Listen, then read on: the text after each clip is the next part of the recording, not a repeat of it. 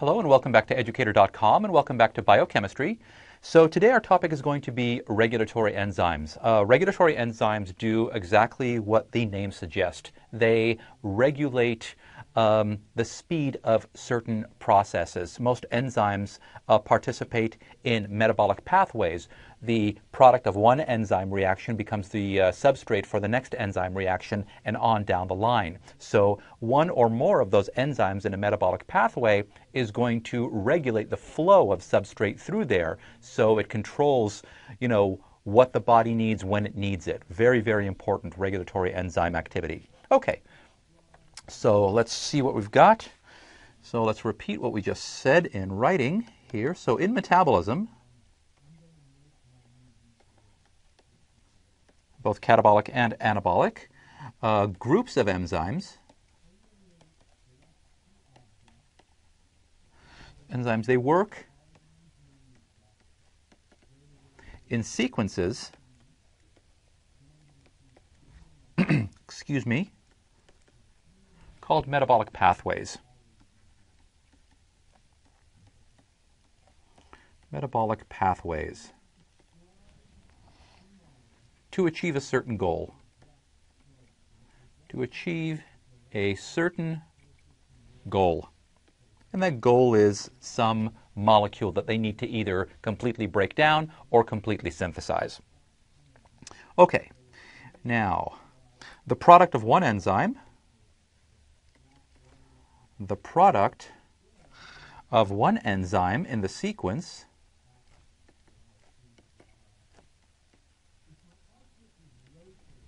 excuse me, as we said, becomes the substrate for the next enzyme in the sequence. Becomes the substrate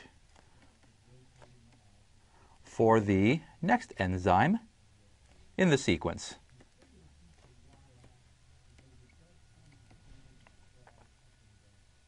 Okay, so uh, a good example of this is glycolysis. It's going to be uh, the one of the first metabolic pathways that we actually look at when we get to the second part of the um, of this class. So an example, oops.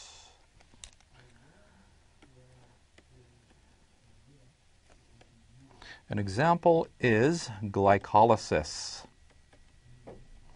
And glycolysis is the breakdown, the conversion um, I'll go ahead and call it the breakdown because it is a catabolic pathway. The breakdown of one glucose molecule to two molecules of something called pyruvate. Two molecules of pyruvate. it's the beginning of how the body metabolizes the sugar in your in uh, that you intake in order to produce energy. Okay, so the sequence goes like this.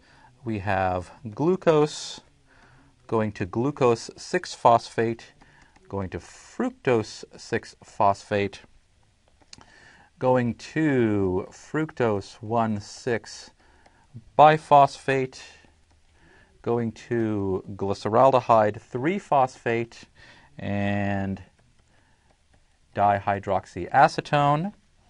The uh, dihydroxyacetone is converted to another molecule of glyceraldehyde 3 phosphate.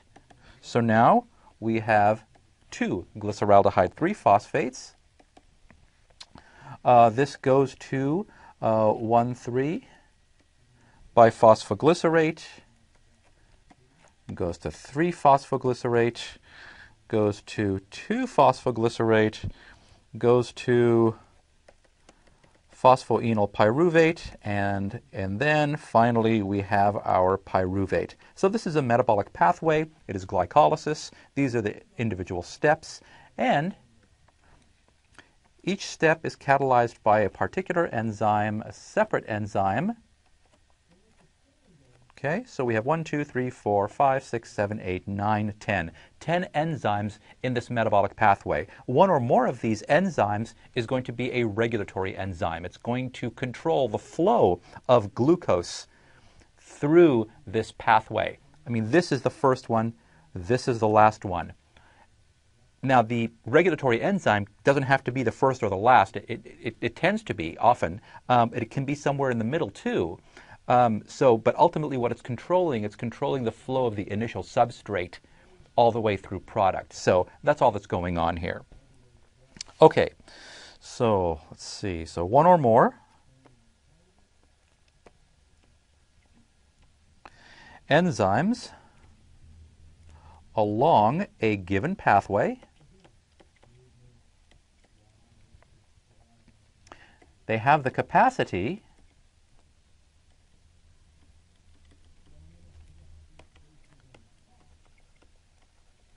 to affect the overall rate of the pathway. Rate. Um, I'll just say the rate at which substrate flows through the pathway. It's probably a little better description. Flows through the pathway by increasing or decreasing catalytic activity.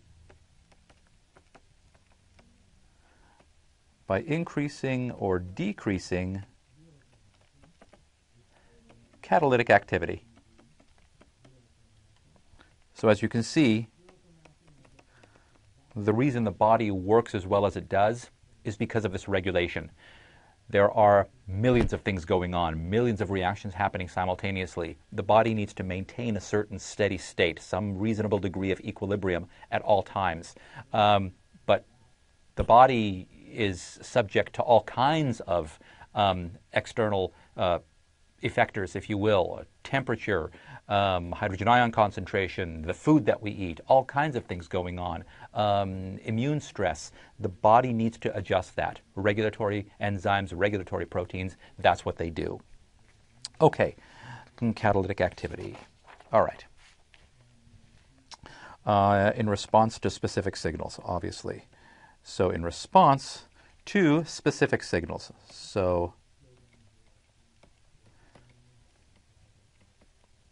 For example, if there's too much of certain molecule in the body and the body needs to sort of cut that back so that that excess is actually used up, a regulatory enzyme will shut down a particular pathway that's producing that molecule temporarily until that, you know, concentration of molecule diminishes and then it'll open up the floodgates again to allow more to that's that's it. That's all that's going on here.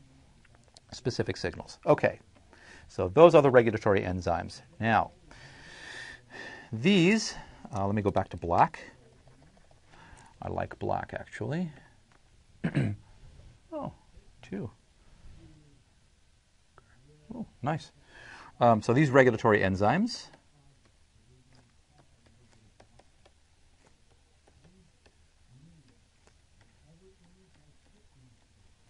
These regulatory enzymes do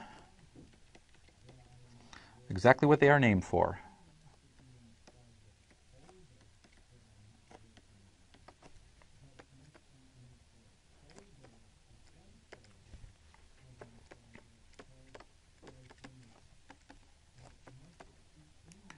Regulate the overall rate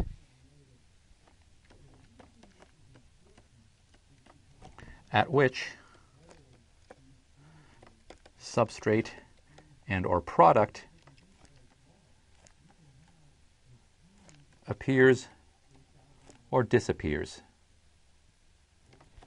Very, very intuitive notion. There's nothing particularly counterintuitive about uh, regulation. We do it all the time in our daily lives. Okay, so now let's talk about some of the mechanisms of regulation. What do enzymes do to regulate? How do they go about it? Okay, so let me go to. Oh, I have some green ink now. Very nice. Go to blue.